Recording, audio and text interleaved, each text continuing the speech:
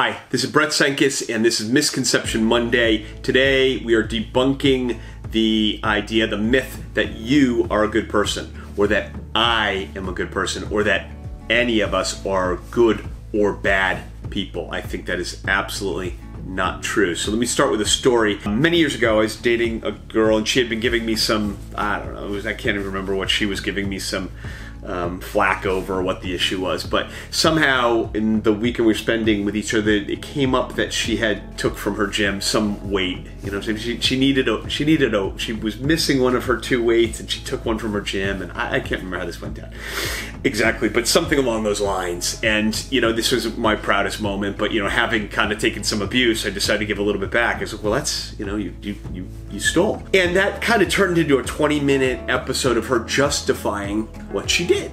And yeah, there were a lot of creative arguments over. it. I mean, it all came down to like, well, no, it's okay, and it's like it just it was it was a really funny example of something that we all do, and people do it on to different degrees, but not being able to accept that what she did was not a good thing. And in a vacuum, she had no reason to do what she did, and it wasn't her property, and uh, the world's worst thing to do? Of course not. But you know, it, it wasn't right, and to try and in some universe justify it as right, it's just it seemed to me to be a just kind of a silly exercise. But it makes sense that we want to feel that people want to feel good, and they don't want to ever think of themselves as having done anything bad, and they want to feel like they're um, you know, that they're wonderful and they're good hearted and they're good natured, and that's just a natural inclination. It's not true, though. We all have good and bad in us. We have good and bad qualities. We have strengths and we have weaknesses.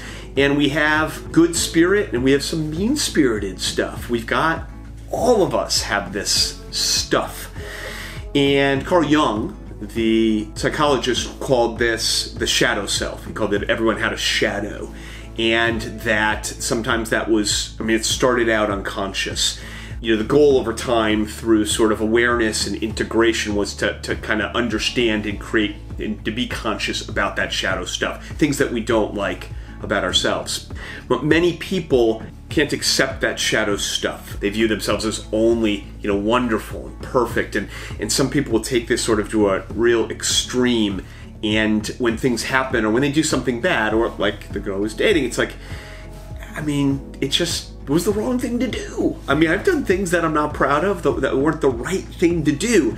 Denying it and acting like there was a reason, creating blame, shifting it, starts to create this world where you get more and more, a person gets more and more disconnected from themselves, and their shadow grows while their sort of sole focus on their goodness and worth and it's not them, right? This creates like a blame mentality, a victim sort of mentality. It's not me, I didn't do anything, I'm not bad. You know, that kind of thing starts to go this direction. The shadow, the shadow is there and denying it gives it power. Kind of counterintuitively, but acting like it's not there, pretending it's there, and it's going to manifest itself. And Jung used to call this, he, he would talk about that as um, projection. Basically, a process of projecting our negative things onto others where our negative stuff is is growing.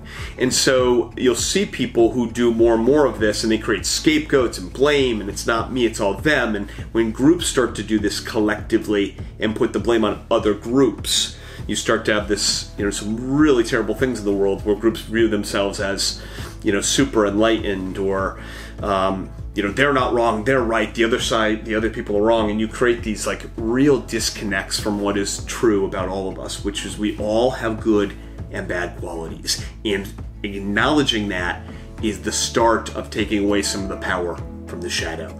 And i should say this is all about like who we are at the core, I don't mean that you ought to go do bad things. I'm just talking about like that's in you. And I'm, and I'm sure you've done some bad things and you will do some bad things or things you're not proud of. And they can be weaknesses and failures and flaws and stuff like that too. It just doesn't have to be good and bad behavior from a moral perspective. But the more we acknowledge those realities, that we have those parts of ourselves that we're not proud of, the more we take away the, that, that power. And the less we do that, the more we give it power, the more we think ourselves these perfect, good, never wrong beings, we're getting, uh, again, maybe somewhat counterintuitively, we're being less and less integrated, whole, good beings. So You are not a good person, and I am not a good person. You are not a bad person, I'm not a bad person. We have good and bad in us, and we do good and bad things, but we're just human.